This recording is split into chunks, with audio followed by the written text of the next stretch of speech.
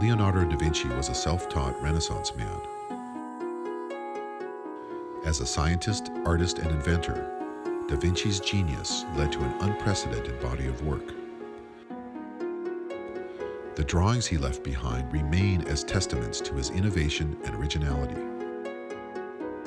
One of Da Vinci's main inhibitions was the lack of materials he needed to transform his concepts into reality.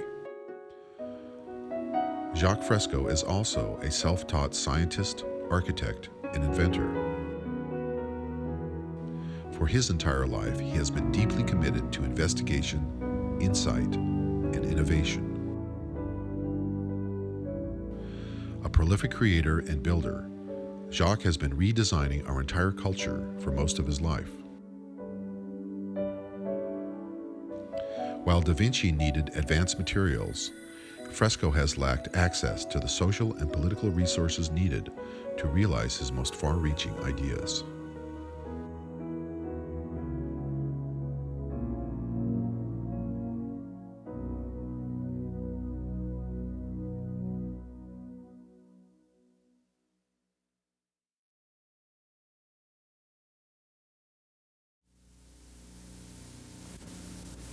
My guest is an extraordinary Miamian, Dr. Jacque Fresco.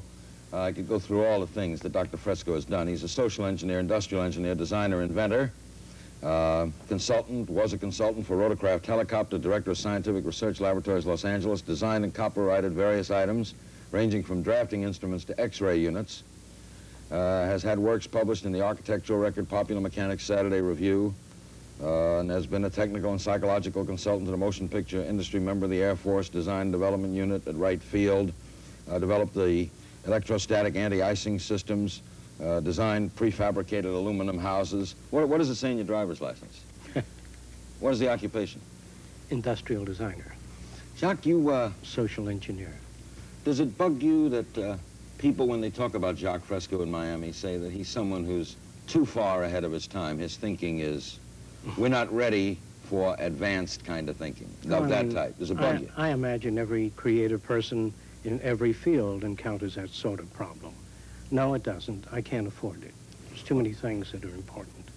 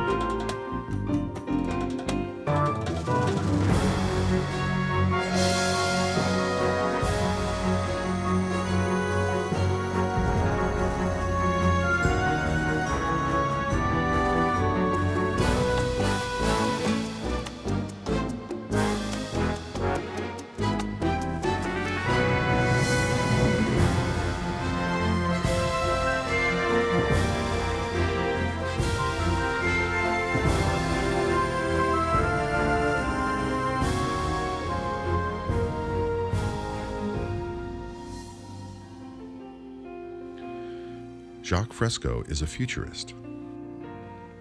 A futurist is someone for whom all thoughts and actions are based upon what tomorrow could be. He has been planning for the future since the 1920s.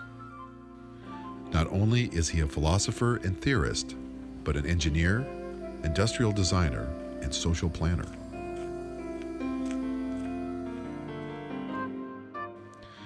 As a multidisciplinarian, he has studied everything from theology to behaviorism and from biology to the material sciences. Jacque Fresco doesn't want to just talk about what today will be like tomorrow. He has a plan to build an entire new world from the ground up.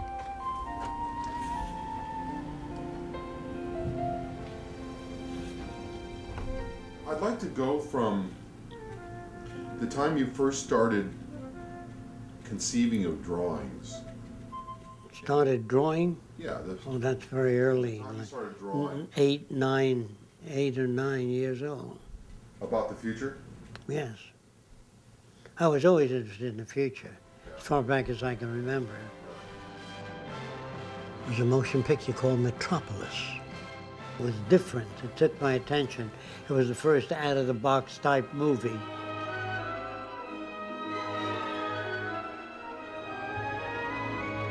It depicted the future as a regimented system, which was totally unacceptable. But the architecture was interesting and the robotics in that film were interesting.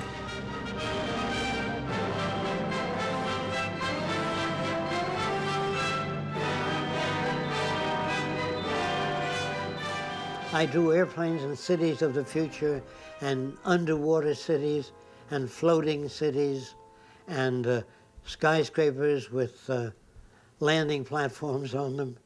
I drew a, an, my idea of what a post office ought to be. Since the airport was so far from the post office, they had a truck deliver that. I figured here's the long post office. Why couldn't we land on top, pick up the mail directly, and fly onward? So I would draw landing platforms on the rooftops of buildings, slightly angular, so the airplane didn't have trouble landing because it, it couldn't be as long, but it would be slowed up by the incline. But then takeoff, they would go in reverse. Then I tried ships, drawing of passenger freighter ships. Then aircraft carriers, and I showed it to my principal. So he said, "But I'm going to give you a letter, and during the summer, if you can manage to get to the Bureau of Standards, I know a Dr. Dickinson, who's the chief of the Heat and Power Division. And so I went to the Bureau of Standards. Dr. Dickinson looked at my drawings and he said, Have you ever heard of Bucky Fuller? I said, No. I think I must have been 14 or 14 and a half, somewhere on there. So they said, Would you like to meet him? I said, Yeah, sure. He what is he? He's an inventor, like you. He thinks up a lot of new things. Buckminster Fuller was one of the 20th century's most renowned futurists. Known primarily as the inventor of the geodesic dome, Fuller was a proponent of using technology with a humanistic approach. Dr. Dickinson took me out there to see Fuller, and there was Bucky Fuller. He was seated there with his car called the Dymaxion. I talked to him about social things. I said, uh, what about changing society to some other form whereby all people can benefit from the works of industry? He said, what do you mean? I said, well, if all, instead of working people going out on strike, give them a piece of the action. And so if business improved, they all got automatic pay. If it went down, they got less pay. So he sat back and he said, uh, what are you, some kind of a social planner? Is that what you want to be? I said, I don't know what the name is, but I think that would work. It would give people more incentive. He says, let me tell you something. It's tough enough just getting a new automobile out there. If you're trying to change society, this is years before he even lectured on things. Albert Einstein once said, The problems we have cannot be solved at the same level of thinking with which we created them. Uh, did you meet Einstein, Albert Einstein? Yes, Where did you get the idea to, to meet Albert Einstein? I, I was outside a theater called Radio City, and I saw a girl come, a woman come out with gray hair sticking up. I said, looks like Einstein's sister, to my friends. And then Einstein came out, and I think it was his sister. So, so I was just kidding about that. And I walked over and, and, I, and I said, uh, is it possible to meet with you? He said, why? I said, I have thousands of questions I want to ask. But He says, I'm, I live in Princeton, New Jersey. So tell me about the day you went and met him. Well, I went to his home, and it was modest. I said that there seems to be harmony in nature.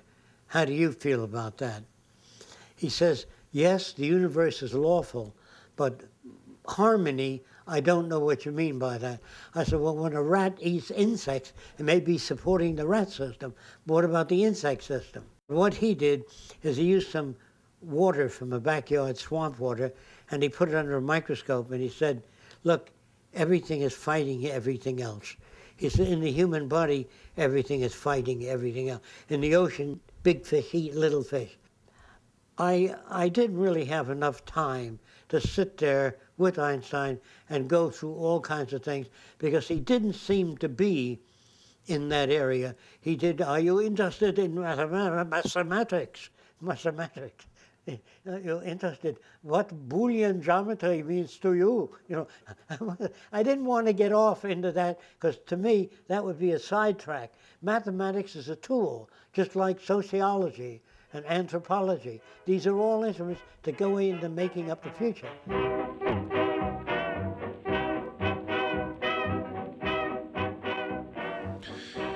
When the stock market crashed in 1929, Jacque was only 13 years old. Coming of age during the Great Depression prompted many questions for the curious and inquisitive young man. Living in New York City, he found the squalor and suffering around him difficult to understand. The confusion, contradictions, and struggles he saw left a significant impact on his character. Things were so bad, and I had no way of looking at it. And I, I thought the rules of the game were somehow screwed up. I went to many different meetings, communist meetings, socialist meetings, fascist meetings, Mankind United, Technocracy, to see what the world was teaching, including Eastern philosophy. And I wanted to know what people thought, what they wanted, why they gelled on, on one system. And that each time a society arrived at a system, they tend to keep that system. They didn't even try to go beyond that. But in technology, whenever we made anything, we try to surpass it. The history of civilization for me then was the history of change social change, human arrangements, homes, boats, planes, trains, all of them were in a process of social evolution, including our language, our outlook, our values, our behavior. As the Depression wore on, Jacque left New York and started hitchhiking around the country.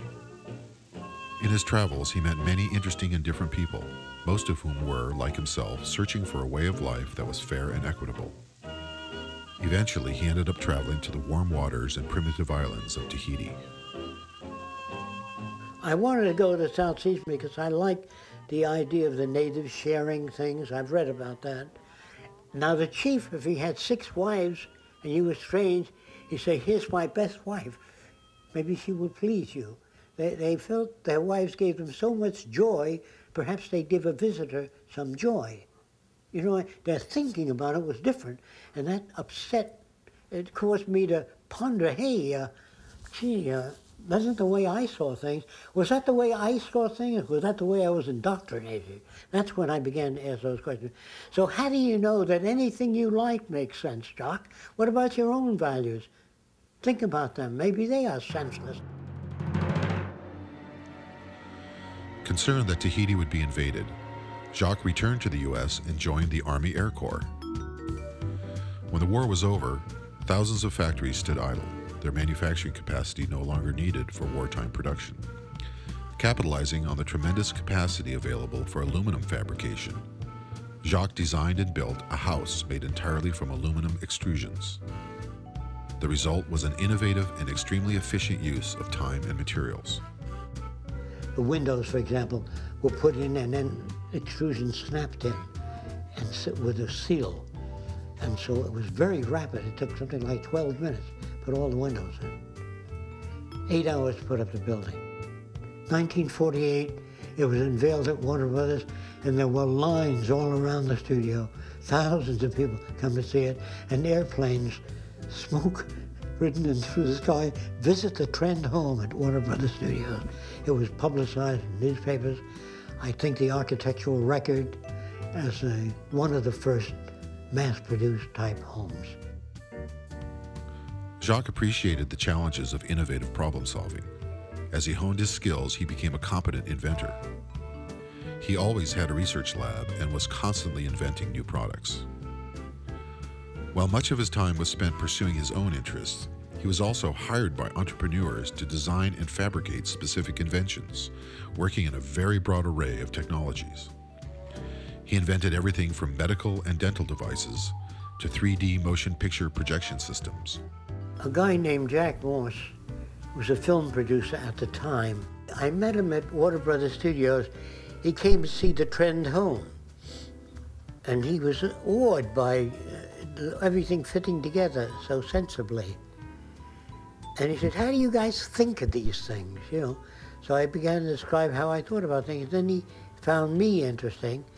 And he said, hey, uh, come on out to the house. And he had a big estate, you know. And he said, uh, can you, do you think you can make a movie projector that projects 3D images without glasses? So I said, yes. He said, how do you know you can do it? You've never done it. I said, that's right. But if it's a physical phenomenon, I think I can work it out. How are you going to do it? I don't know yet. And what I did is uh, I had many different applications, which I'd rather not describe in detail, but I got 3D imaging different ways. And the simplest way was uh, projecting the right and left eye image from behind the screen at the right eye and left eye. Now then, if you moved off to the side, you lost your image. And so uh, Jack wanted Technicolor to go the rest of the way. So he got them to come out and look at it. And they said, how do you do that? It's very interesting. I I'm, we're not at liberty to disclose that unless you're back the next stage. So they said, well, how do you maintain visual isolation? I said, I still can't discuss that with you. So they looked at it, it was super clear, no lines. They said, well, that's the best I've seen up to now, but it fades to 30 degrees. I said, yes, it does. And at a distance, it fades too, as you move back. So they said, well, can you do anything about that? I said, yes. That's why you're here, to take it to the next stage. So they said, look, Jack, you get rid of the fade and you get rid of the distance problem, then call us. So uh, that died like the trend home died. Then I've read in the books on invention how Alexander Graham Bell had to make the telephone before they backed it. The Xerox machine had to be made completely. Edison had to make the electric lamp. Nobody backed him on the way up until after he was known. What are these for? What were these all about? These are Oh, gee. Uh, these are various. Well, these are surgical instruments. Yes, various types. Those are only some of them. You know what a retractor is? Holds the skin open while you're operating. These are various types of retractors. Uh, the purpose of that was to rotate the, the bone so it's in line before you put the prosthesis in. It rotates uh, uh, the femur, the upper region of the femur. Those are tweezers with holes in them. If you look at the holes on the front of the tweezer, to put the sutures through to guide you through the muscle. So you put it over the muscle, and the holes are right through the middle of the muscle. You didn't have to eyeball it. So these are things that you designed Long time ago. under contract. Oh You yeah. Contracted to Yeah, design these yeah. things. I did thousands of different things. But this doctor took the patents out in his name. But that's all right. I didn't, as long as it was out there. I didn't know what I wanted to be. You know, since I looked at all things and tried to change all things, wheelchairs, everything, make them better, you know, I found it easy to invent. But then inventions cost money, and I didn't have money for patents.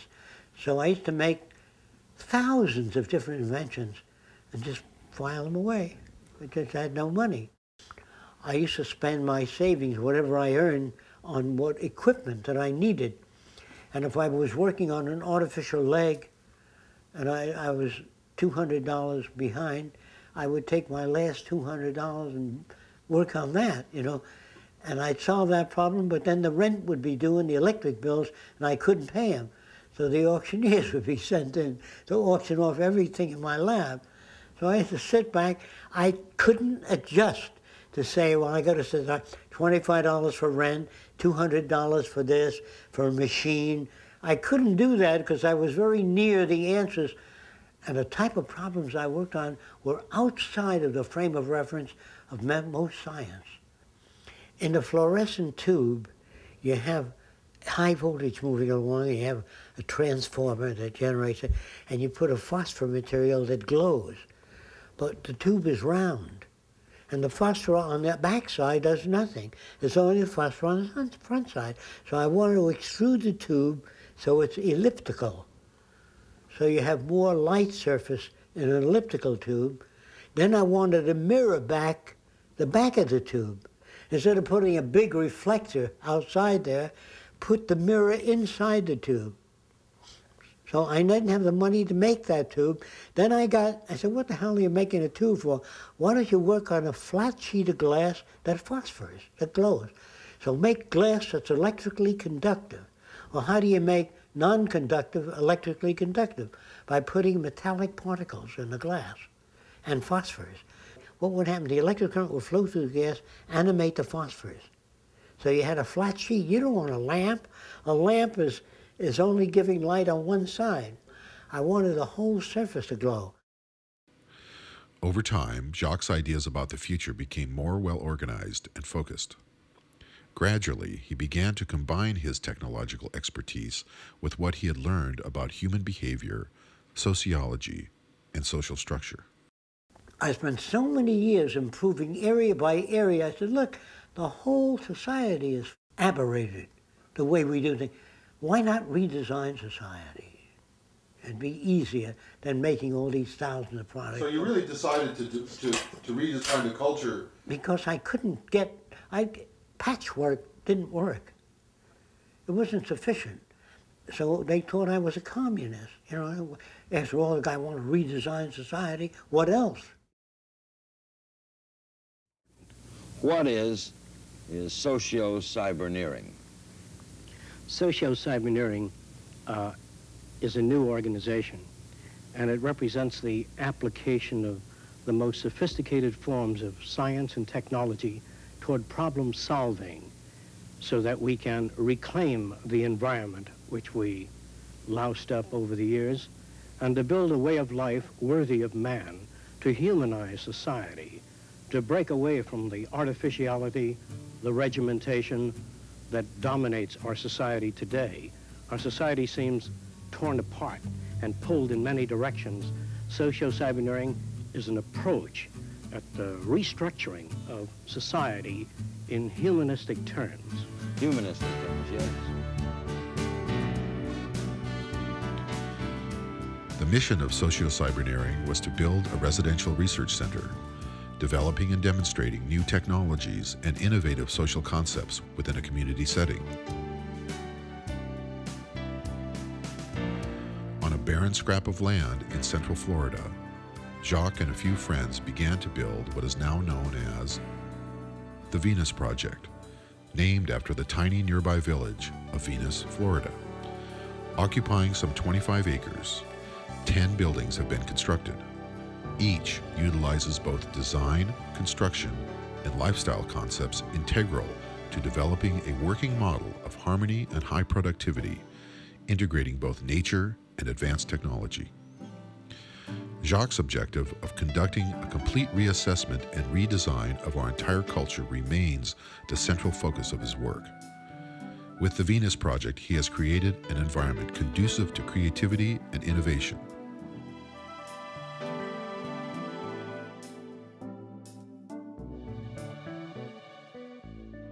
When people come here, they're amazed to hear that this was just a flat tomato patch. We've dug out streams and ponds and planted hundreds of palm trees and trees. And we built this land to show what the outskirts of the city would be like. We have many buildings here, but you can't see one building when you're in another. We really wanted to show how high tech and nature could coexist within this environment. Jacque and Roxanne have been living on the property and building the Venus Project since the late 1970s. The entire time has been a constant process of developing and implementing new ideas. Jacque begins with a drawing, then produces a scale model, and then videotapes his models in order to demonstrate his concepts for the future.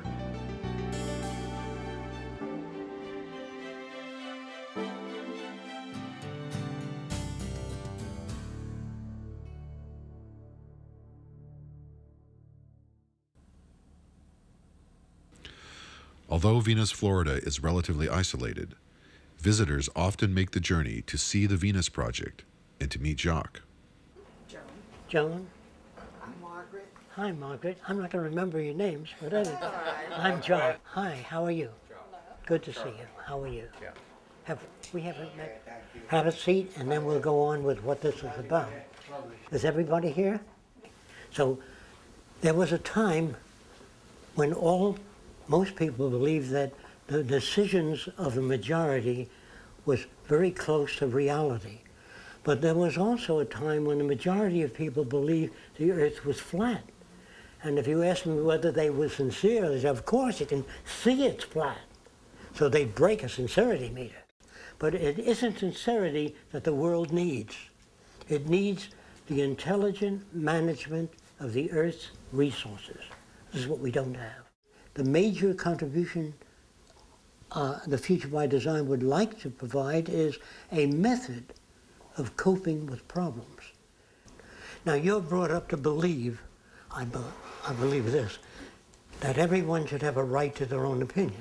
Is that the way you were brought up? Yes, sir. Okay. When you got everybody going around giving their opinion, I'll tell you what's wrong with Jim. See, they've got all kinds of opinions. But when engineers talk to each other, they don't say, believe me. They say, see this new metal? It can hold up 4,000 pounds per square inch. He puts it in a machine and pulls it apart. He says, you're right. So I would say the majority of the people of the world today are unsane, not insane. Unsane meaning having been exposed to methods of evaluation that are long rendered obsolete.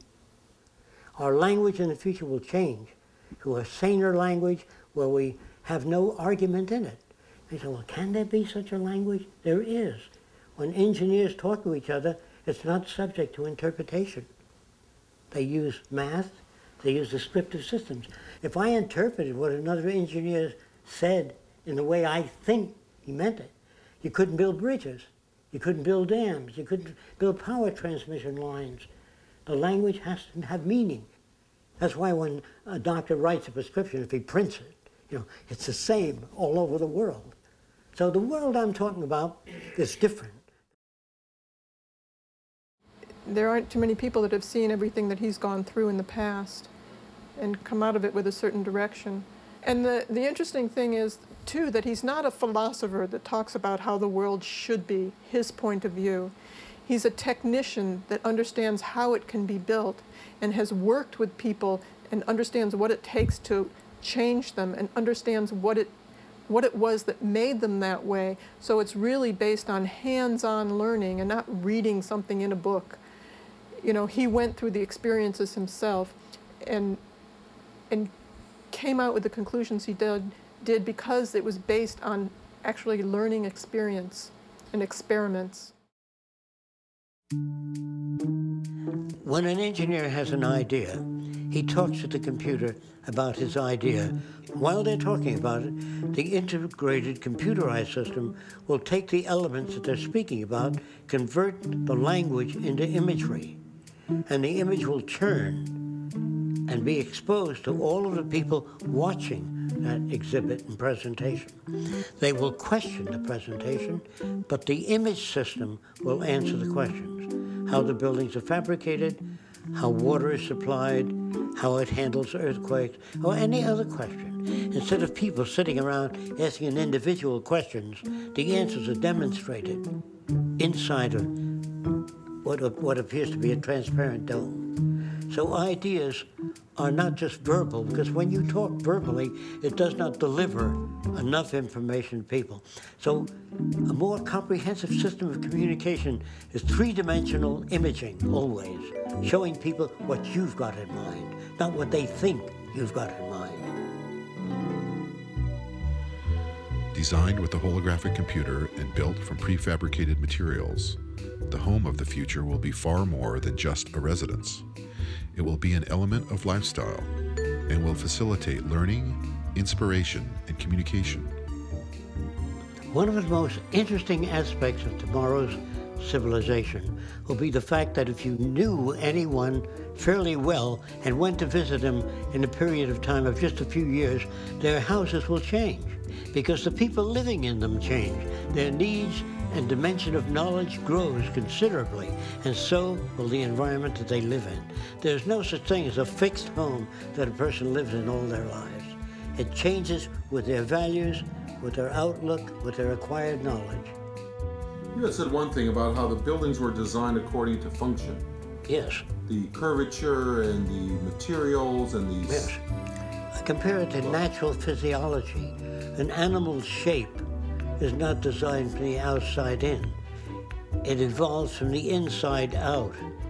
Whatever you request, the exterior will express a cover over the shape that you prefer to live in. Some of the buildings that are dome shaped can be laid like eggs continuously by a machine that carries a dome shape, and in that dome, the exterior and the interior fabricated at the same time.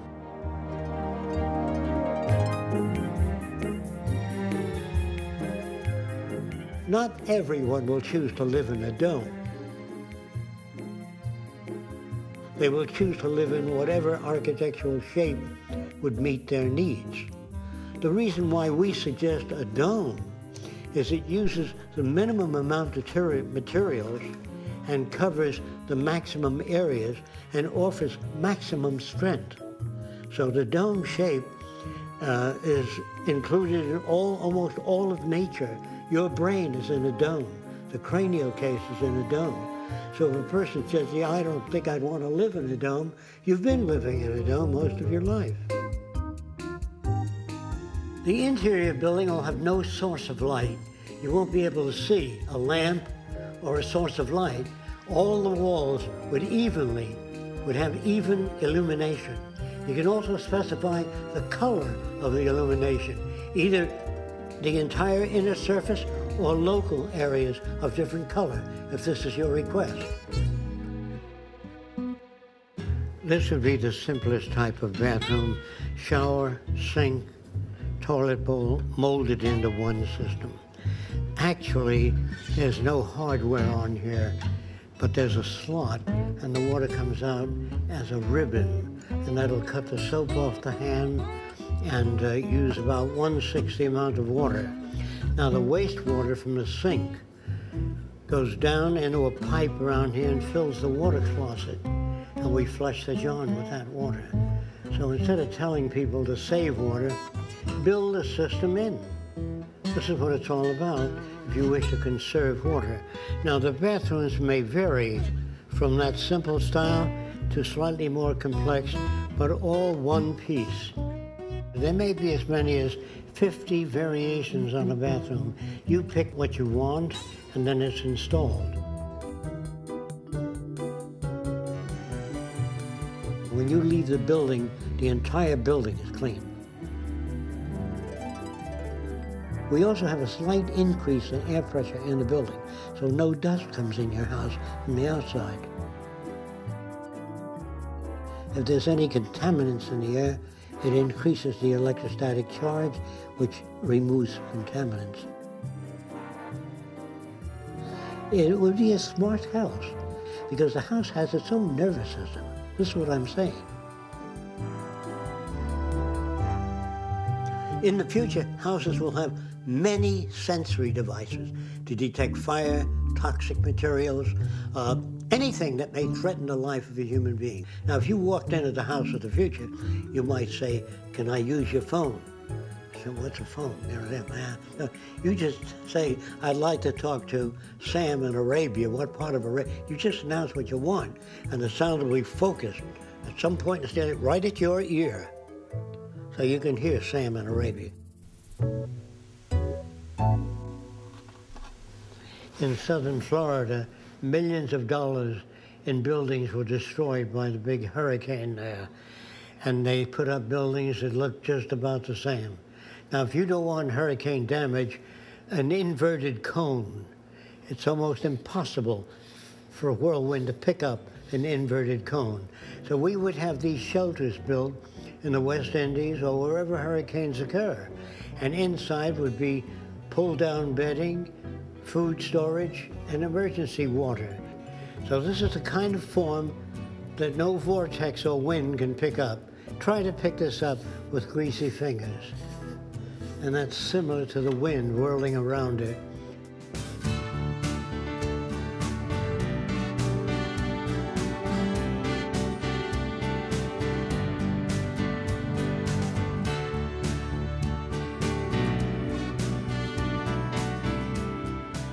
For apartment buildings and other large structures, Jacque has devised a cybernated construction system. Computer controlled robots will handle 90% of the movement and placement of prefabricated components. Special advanced materials are to be developed, eliminating waste and minimizing the need for manual labor. Guided by satellite and using a sophisticated form of artificial intelligence, the buildings will construct themselves, a technique Jacque has named self-erecting structures.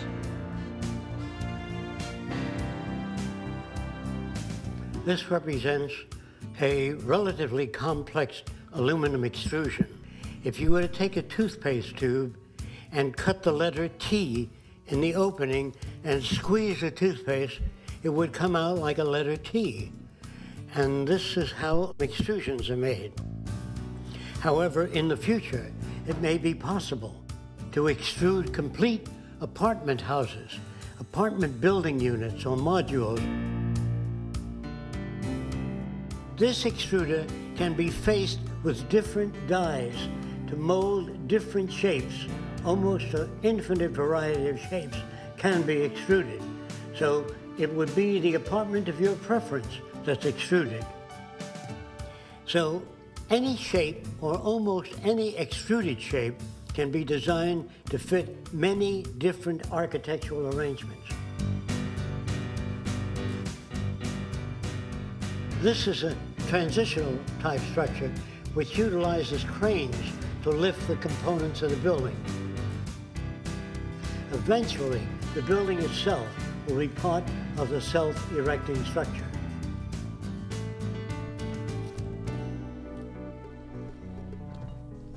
Don't forget, all the models that I do are only transitional. They don't represent the best that man can turn out because no one knows what the future will bring. Mm. There are just so many variables that can alter things. Mm. So the models that I make are all transitional, mm. and many of them are only conceptual. They're not necessarily what the future might look like. Right. They're only, well, let's say they're extrapolations taking the present and extrapolating forward.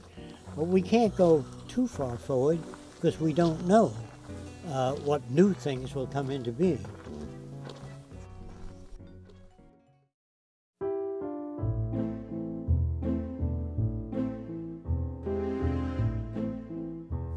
Now this looks like a train station. We hope to phase out the airplane by desi designing transportation units that can move up to 2,000 miles an hour floating on a, a, magnetic repulsive field or an air cushion. And in those huge trains of tomorrow, there'll be television, radio, amusement, art centers, classrooms, not a group of seats lined up as your trains are today. If 40 or 50 people have to leave the train, we slow up to 100 miles an hour, lift off the passenger section, or slide it off and slide on a section with the passengers getting on. You don't have to stop the whole plane or the train. In the future, we will just shove off those passengers getting off and that freight leaving. This is part of the linear acceleration train that can take you anywhere in the world in just a few hours, safely, without snow, rain, being lost at sea, Are all subject these to the things? weather. Are all these things you're saying?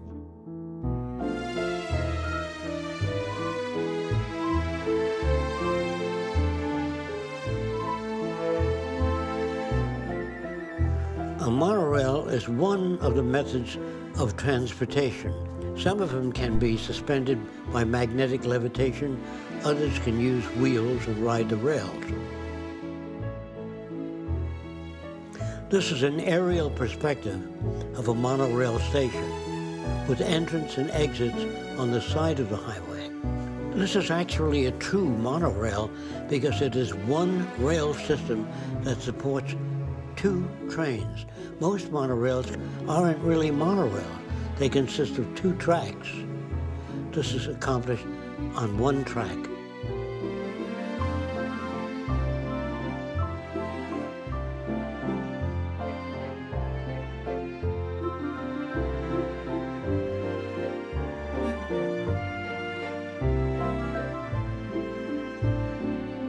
The vehicles of the future will be highly aerodynamic in shape.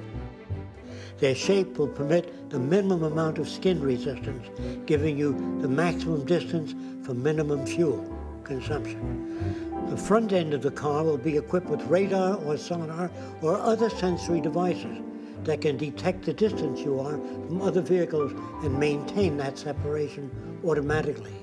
In other words, on a highway or anywhere where two cars might hit each other, the electronic sensors would sense the distance automatically and keep the cars from sideswiping or making contact at all.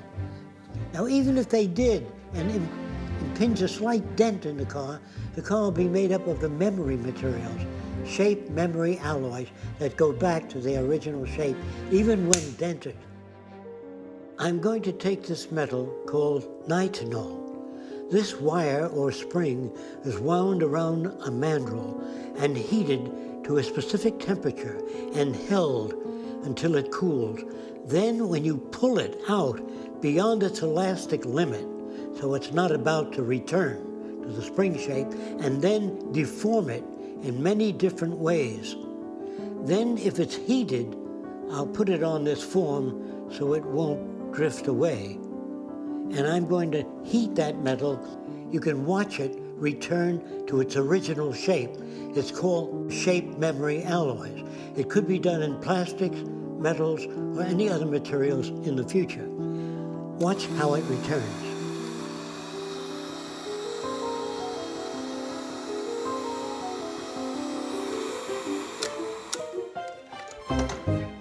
And even if an area of the car were removed, they can be rebuilt.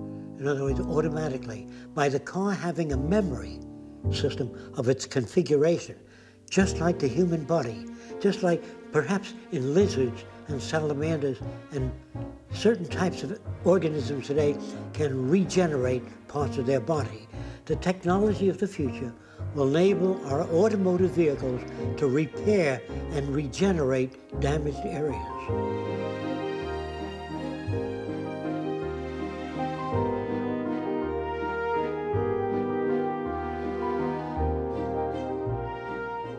This is a transport unit or air suspended unit.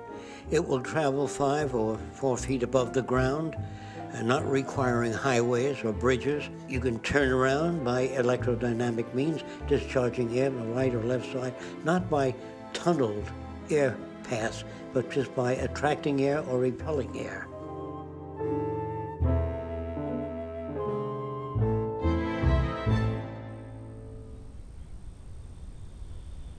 I did this about 65 years ago. This is what an automobile will look like in the future.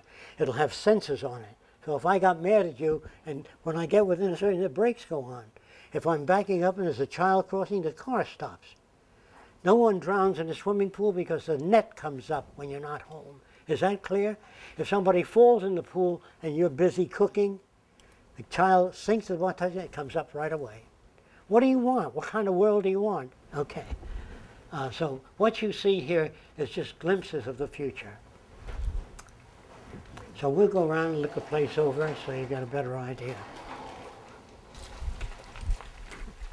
Now that area over there, across the water, we will build a very large dome like a center for dialogue to invite different people out here.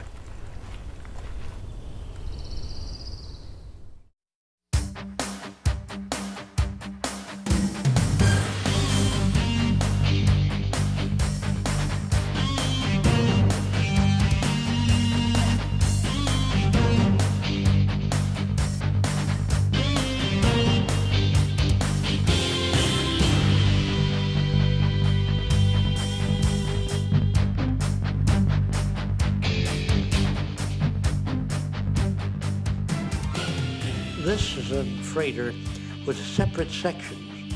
This freighter can deliver this to the Philippines, drop this off in Hawaii, and so when all of the freight bays are released, they are propelled automatically to the loading docks. And then the forward portion of the ship and the rear portion, which is the propulsion unit, are joined together. So you always travel at a balanced load. You never travel with an empty hull back. So using energy that way conserves millions of gallons of fuel if you use fuel in the conventional sense. This is a possible propulsion method. In this instance, water is drawn toward the surface of the ship electrodynamically, and in turn, the ship's reaction is forward, away from the pressure toward the rear. It's like holding a peach pit and squeezing it, and it moves forward. It has far less wake, less water turbulence, and very little energy consumed. What you see here is an illustration of underwater transportation for the future. And the very leading edge, air bubbles will be emitted very rapidly in front of the unit, and that will cut down the resistance considerably. If you were to release thousands of air bubbles underneath a ship, it would sink because the water is less buoyant with the air bubbles in it. So the air bubbles will be a system in the future for reducing the forward resistance. Transporting things underwater is much more economical and offers much less resistance. When traveling on the surface, you're confronted with waves and wave motion. Underwater, you don't have that problem at all.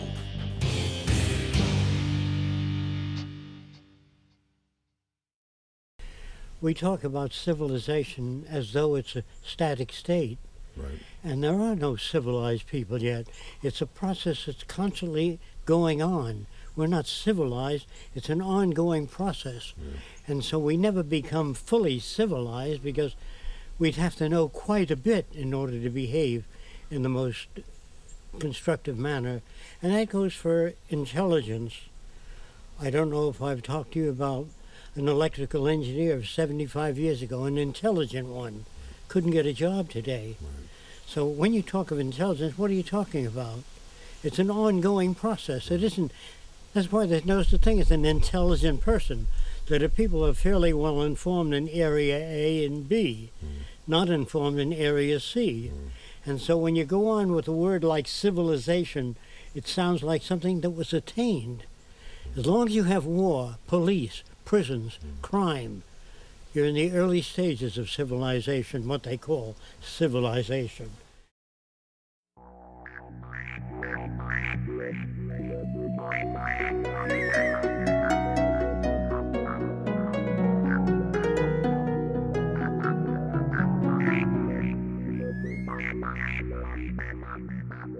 This type of helicopter or aircraft would have its propulsion units at the tip of the blades. They'd be relatively small, high thrust. The center of the disc, or the passenger compartment, would remain stationary while the blades spun around. In the event of engine failure, the blades can automatically gyrate and bring the craft down, not only vertically, but can travel forward by tilting.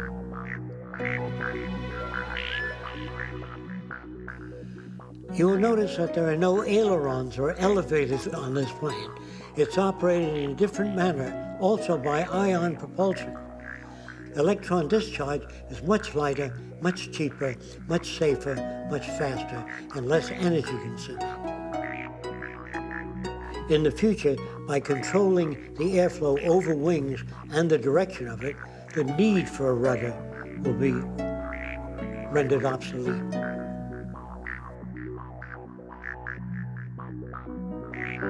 For individual transportation or small groups, you have the vertical landing and takeoff VTOL aircraft of the future.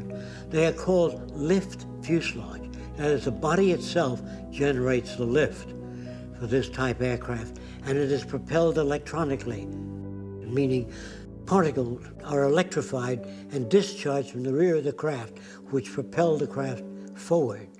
And for hovering, we then eject the same propellant downward and generate a ring vortex, a whirling vortex beneath the craft, and the control of that vortex determines the speed downward.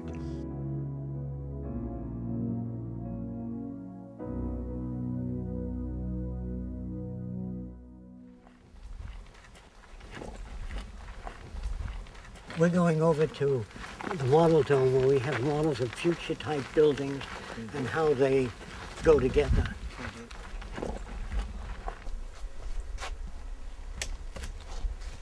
Here you have the city system. I, I put domes here, but there'll be very many variations. In other words, yes. What are those? These are research centers. Okay. This is a, uh, medicine, agronomy, uh, population designing, product, improvement of products, energy systems. Energy in the future will be geothermal, most of it. You can get that from the earth.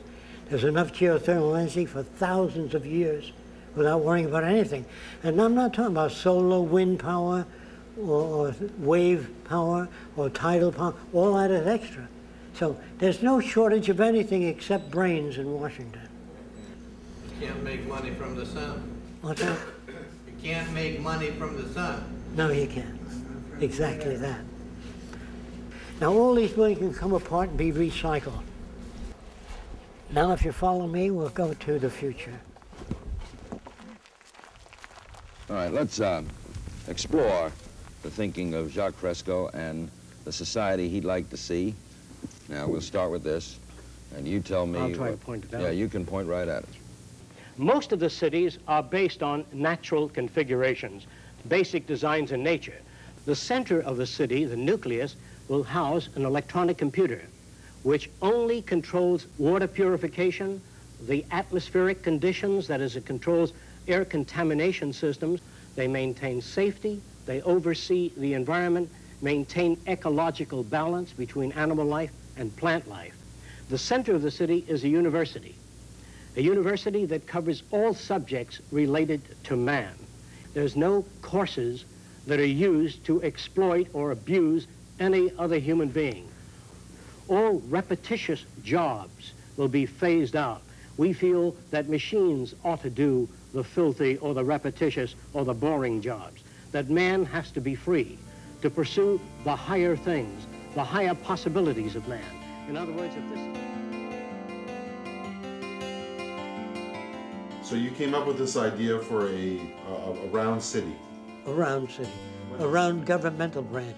And then extending out of it would be the Department of Agriculture, Education, Oceanography, the disciplines.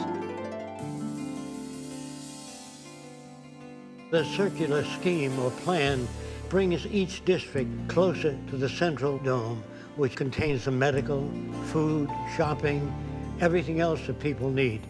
The circular arrangement makes it easier to operate using far less energy than any other system. And if you start at one end of the city and go through the city, you always return at the same place. Whereas in a linear city, you go to one end, you have to backtrack to get to the same point. So the circular scheme is by far the most efficient. And when cities are contracted in the future, they will be contracted as a whole, as an entire system. In that way, all of the parts and components would be delivered in stages. Like sequel one will be the underground, the heating systems, the electric generators, the piping systems, the recycling systems. Then after that, the next layer, which would serve as the first layer that contains the architecture, the foundations for all the buildings, and after that, the erection of structures up from the foundations, starting with the central portion of the city, working its way out to the different radial sectors, and then out to the final housing sectors, and then to the agricultural belt, and then to the recreation areas. The cities themselves are prefabricated. Most of the elements that comprise the structures of the cities are interchangeable, interlocking. They are designed so they can be disassembled just as they were assembled. So the new cities will be updated continuously. As the waters are piped into the cities, they are checked. And to whatever extent contamination exists, the water processing plants evaporate the water, recondense it, and cleanse it. In other words, all waters piped into the city will be monitored constantly, not by a monitoring system, but several monitoring systems. The same is true of the air above and around the city. It's constantly monitored. All of the rooftops are photovoltaic. All of the skin, outer skin of the building, converts solar radiation into electrical energy. As we move beyond the third sector, we come to tennis courts, parks. Beyond that is the residential district, which consists of lakes, waterfalls, all kinds of beautiful plants throughout the area. And each house is concealed by plants so you can't see another building. Some people prefer, as in the next sector, to live in apartment houses.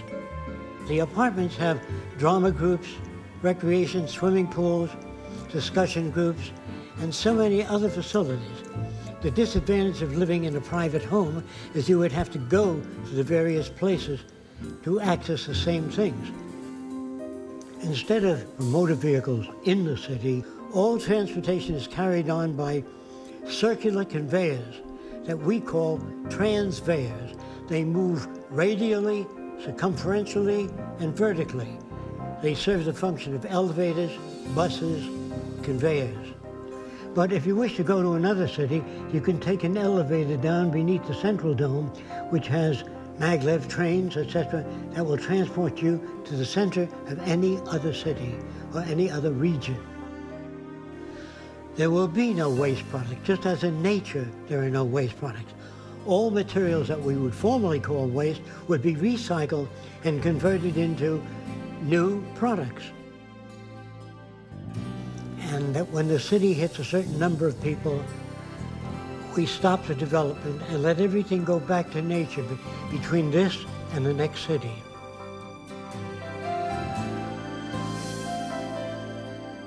It doesn't mean that we can solve all the problems. We can just design and build a far better environment to advance all human beings.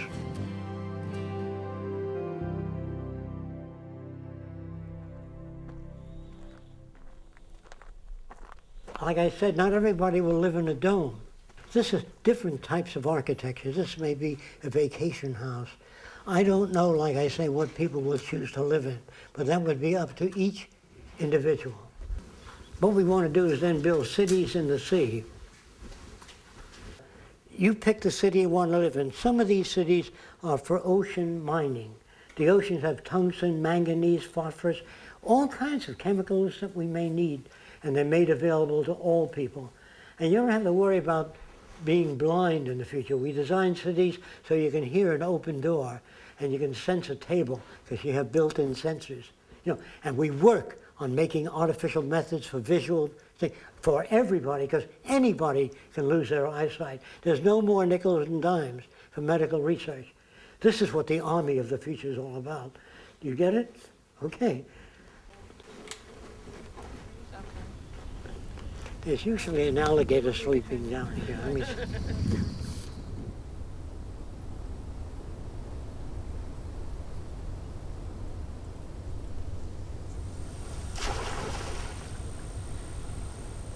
Are you betting that people will not declare war on each other so that you, you can get at building all of this? Well, we don't have much choice. We're going to destroy each other or we're going to make it. Now, this looks like some sort of submerged stadium with something. We might build circular cities in the sea where the water's about 30, 35 feet deep. Most of the apartment houses will open out into the sea. You can observe marine life and fish swimming by. There'll be no zoos, no seaquariums. Everything will be observed in natural conditions. There will be boating, scuba diving, recreation, and universities built in the sea. Uh, these drawings all made by you? Yes.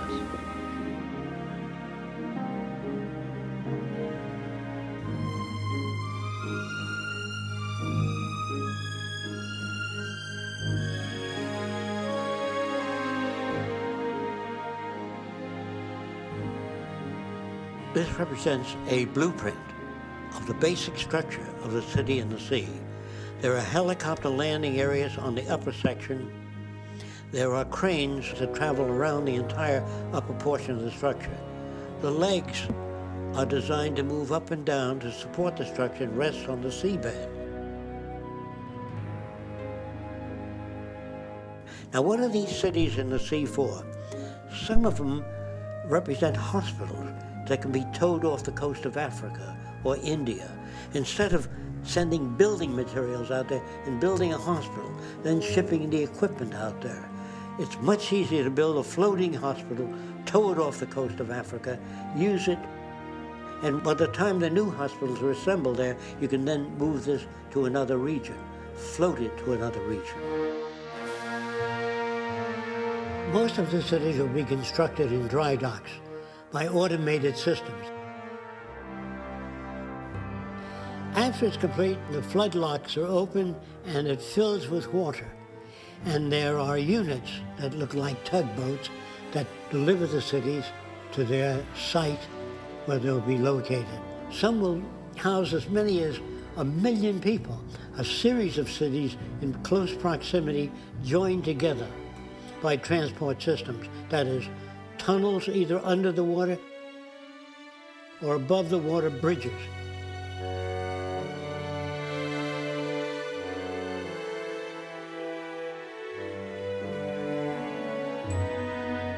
This is an aerial view of uh, one of the many variations of cities in the sea.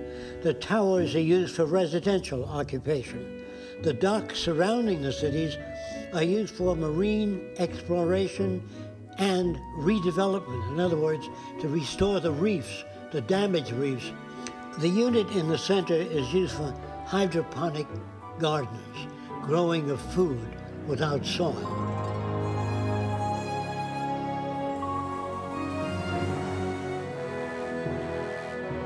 Now, many of the cities in the sea will have docking facilities for marine vehicles, and that'd be, be like an underwater bus that would take people around to visit the different areas. You'll be able to get a very good picture of the ocean and how we harness it and use it and preserve it and protect it so that future generations might enjoy the oceans also. This projects above one of the cities under the sea with an observation platform and a landing platform on the upper deck. At the sea level, there'll be a floating dock system that moves with the tide up and down so boats can dock. Then you enter an elevator shaft which goes through an airlock.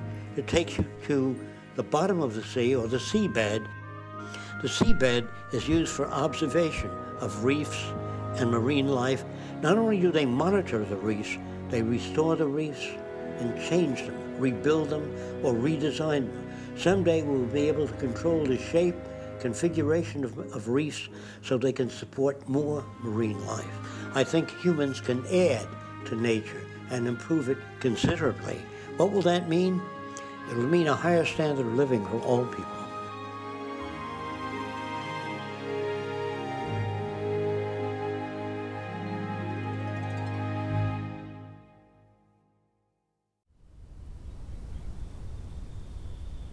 When he draws these buildings and designs, he thinks about how they go together, how they're manufactured, Some of the drawings I have seen have gone back about 60 years, and they're, they're just beginning to talk about some of these things now as being a possibility. You know, in the past, people would say, you'd never be able to get to the moon, not in a thousand years. And they'd look up the next day and they're going to the moon. You know, when I first met Jacque 25 years ago and he would talk to some people about certain, certain inventions, they'd say, you won't see that, not in a thousand years. And 10 years later, they come out with it on the cover of Popular Science.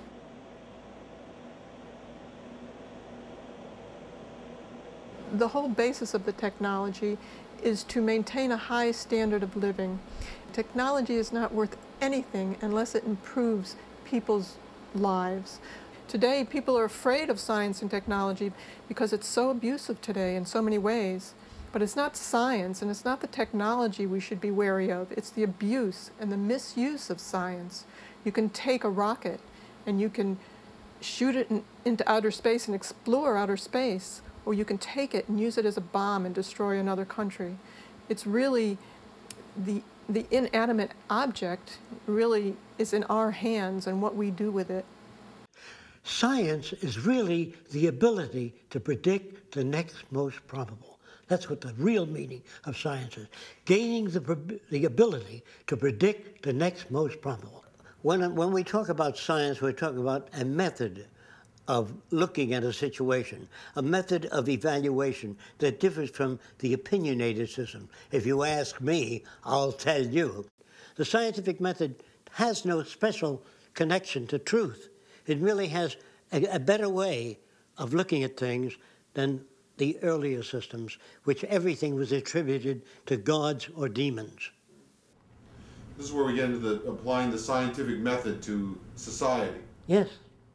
Now, this is not in a book yet. The scientific method applied to society is something people don't think about much. But if you want to know where the answers may lie, it is in the application of the methods of science with human concern and environmental concern. The future by design refers to the application of the methods of science, not scientists, the methods of science to the social system. Naturally, even the methods of science undergo change, and as they change, so would the future. If we use the scientific method throughout the world, the probability of war drops to zero. The probability of human suffering disappears. Deprivation, poverty, crime, all those things tend to disappear because there's no basis for it.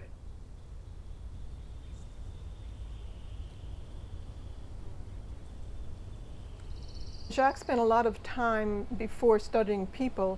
He started studying how animals behave and how to change the behavior of animals or predict the behavior of animals.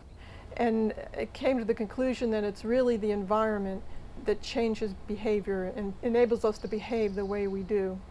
We're not born with prejudice and bigotry and, and anger and greed. It's really generated and nurtured by the environment that we live in. That's why we feel that unless you change your environment and change the experiences, we'll get the same aberrant behavior within people unless the environment is changed.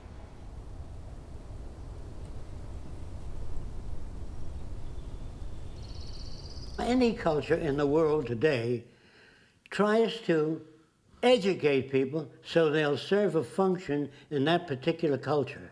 In other words, if you're brought up in a Nazi culture, the flag waving and the swastika are the kind of things they put forth. If you're brought up in a, in a primitive tribe, handling the javelin, the bow and arrow would be the kind of thing that you're exposed to. So people are conditioned to serve the interests of an established culture. Who does that to us? The owners of the institutions, the establishment.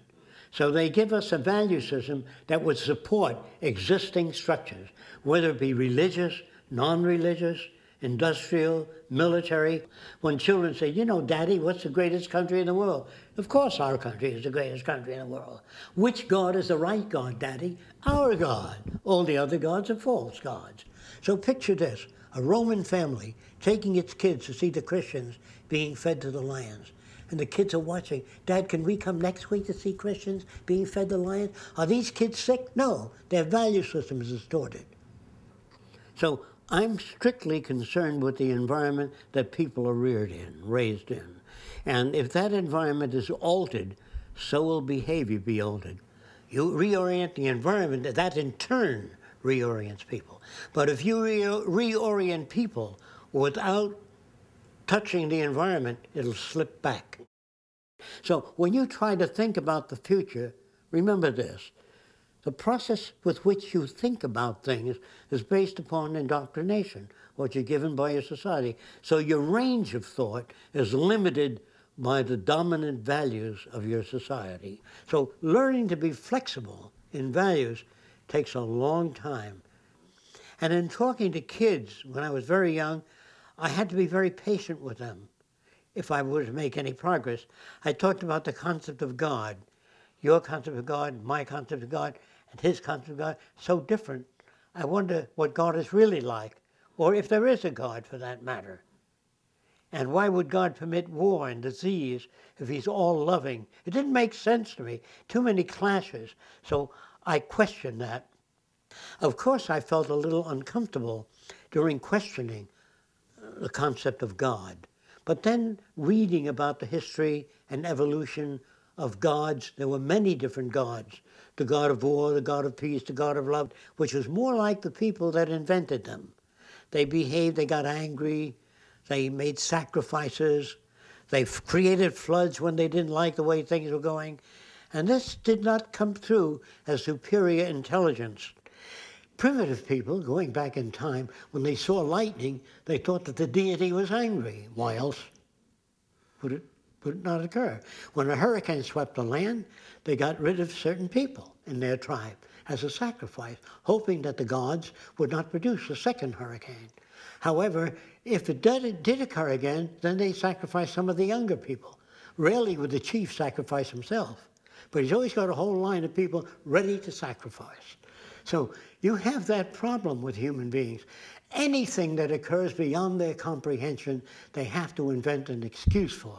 They have to create gods and demons to account for things because people come to the leadership of that community. No matter how primitive the tribe, they say, how come bad wind blow people off island? I said, you not behave good you not make not enough contribution to volcano. Throw your brother-in-law into volcano. Maybe it doesn't erupt then. So if you throw your brother-in-law into the volcano and it still erupts, you have to throw your sister-in-law in. So you get metaphysics, you get religion, you get superstition, knock wood, or you wear a rabbit's foot. Just remember that the rabbit had four of them. Didn't do him any good. So on down the line, superstition prevails wherever ignorance prevails. Myth is a way of saying to the little guy working out there in the field, when he says, What does all this amount to? I never seem to be getting anywhere. When you kick the bucket, everything is there for you. If you don't get it in this life, you'll get it in the next. If you remain good, the amount of superstition that a culture can absorb would be directly proportionate to the amount of information people have. So in the future, with adequate supply of information, more than that which is given today, considerably more, you don't have, knock wood. Today is my lucky day. When your number is up, it's up. All that will disappear in the future. I, I look at this as everything he's doing is to be as being the utmost in spirituality. Instead of looking for a better world later after you die, it's really building the type of things that all religious teachings talk about here on earth. We don't have to wait till we die for that. We can confront our problems today and not wait for the Messiah to come with, with the white robe and change things, or not wait till we all go to heaven at a certain time, or those believers that go to heaven at a certain time. We can deal with the problems today. For instance, in religion, uh, they, they, they put things on the will of God. If there's an accident, it's it's the will of God, and it, it stops you from thinking. It stops you from being innovative. It stops you from thinking about, well, how do we redesign the transportation system so we don't have those problems anymore? So he's worked with priests and he's worked with religious people and kind of expand their horizons a bit so they can be more creative. They, they look at, at the environment that shapes people's behavior and they don't call them good or bad anymore. They think about shaping the, the environment to get more constructive behavior. If you were to ask me to redesign the world and the way people live, first thing I would have to do is conduct a survey, find out what we have, how much water do we have, how many, how much people, how much arable land area. After I know that, then I can base the parameters of design on what we have. What you really need is an understanding of the Earth's resources by agronomists, geologists, geophysicists, people who study the Earth. They don't give you their opinion. They say there's more life in the Antarctic. That's not an opinion, that's a finding. So in the future, no more opinions. Do you have information in this area? No, I don't. Good. Here's where you might get it, or here's how you might go about finding out. Yeah. So I'm saying all people need clean air, clean water, arable land, and a good relationship, a language. So I'm not superimposing Fresco's concepts. I'm, I'm using the earth as the measure. In other words, we have to live in accordance with the carrying capacity of the earth.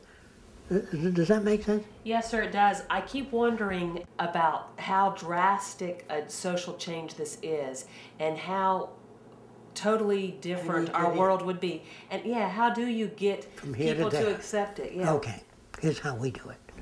Eventually, all decision making will be transferred to machines.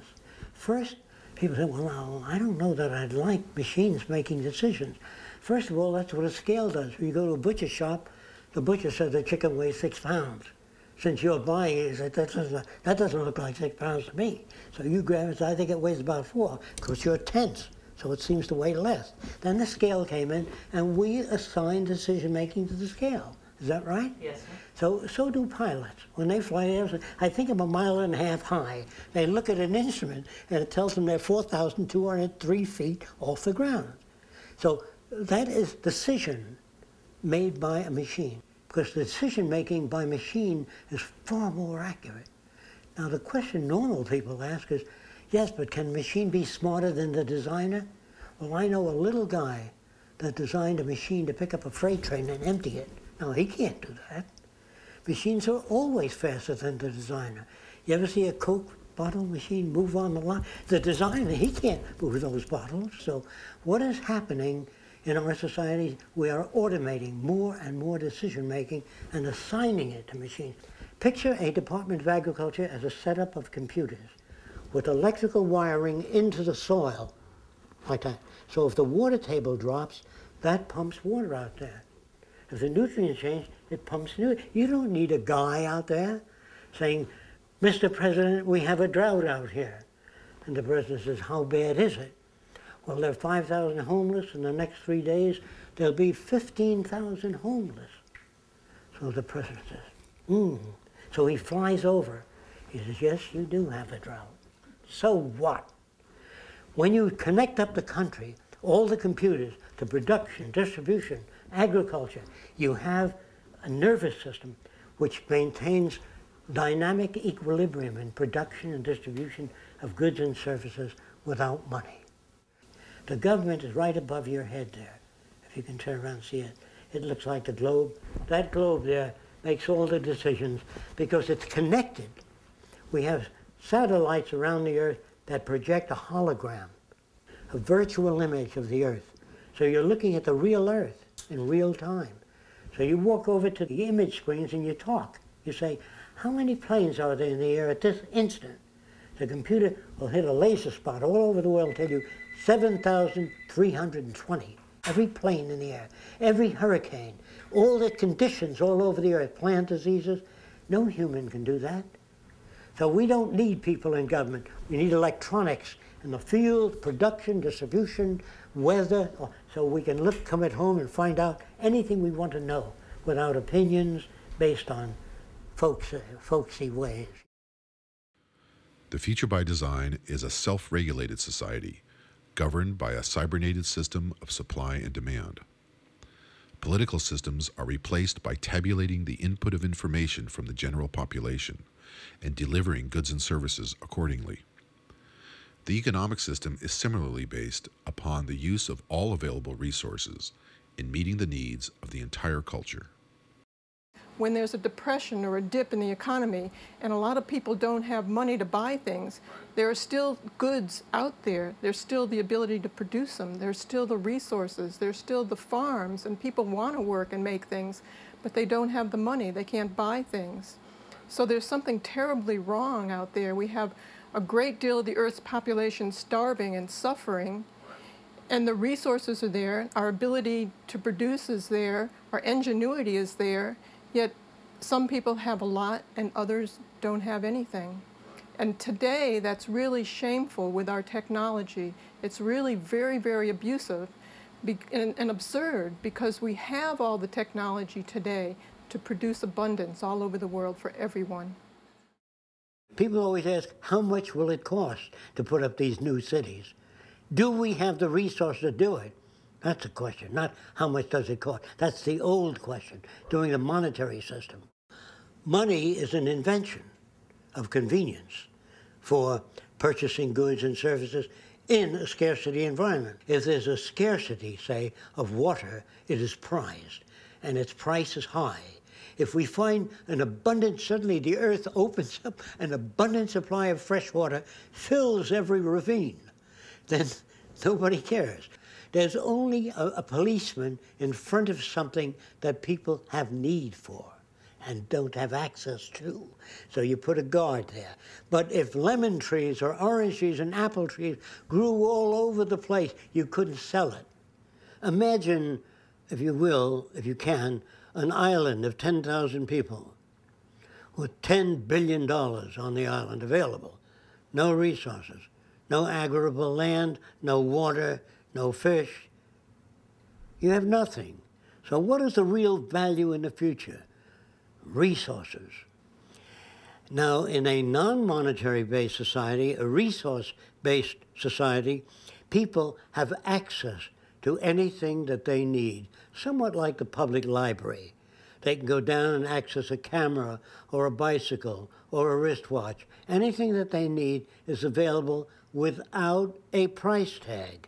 That would mean we must achieve a level of production that's so high that scarcity no longer exists.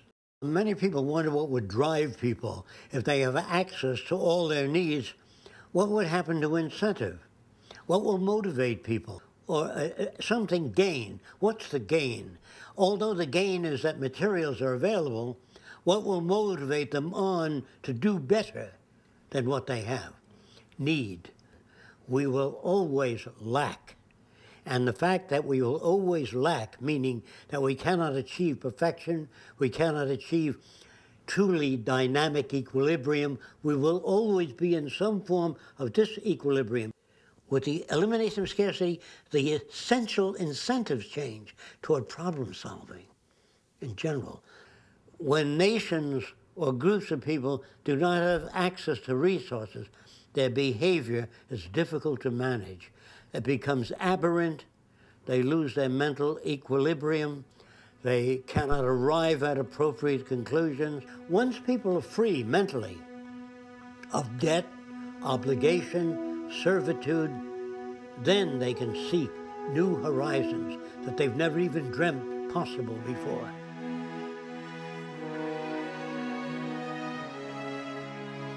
Core mechanism of democratic process in the Future by Design is the use of public exhibition halls. With the exhibition hall, everyone has the opportunity to participate in establishing the priorities with which the society is governed. So just like a World's Fair, to show you what's new, what is available, you look around and say, I'd like one of those, or I can use that sort of thing in my kitchen whatever it is. And then they always invite comment or something new comes up. What do you think about it? Do you feel it's sufficient? Do you feel there's shortcomings? Enter into your computer your point of view regarding this. So you have a built-in democracy. You have a participatory culture where all people participate And that is in a constant process so that people will know up to the minute what is coming out, what exists, what is available, what is not available. In other words, there'll be many bulletins and many publications and visualizations of what is needed. So all the world's people will be informed constantly of what we don't know, what is needed badly, and asking for suggestions and papers and ideas from everybody. I just want to say this to you, that all the marvels and wonders of technology can amount to nothing unless it elevates humans to their highest potential.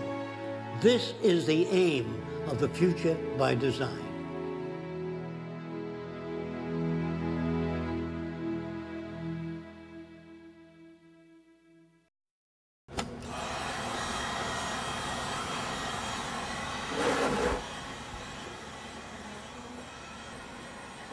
Jacque continues to invent every day, to invent, to write, to work.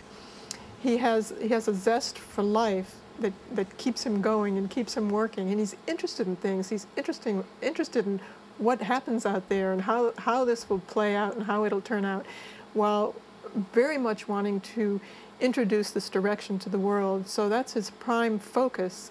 And he does that in every way he can by actually showing. It's not enough to just tell what the future will be like, but to, to show what people are missing.